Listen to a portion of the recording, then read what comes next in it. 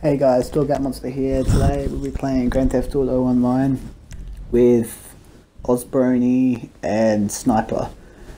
Um, if you like the video, please like it, and if you haven't already subscribed to the channel, please subscribe.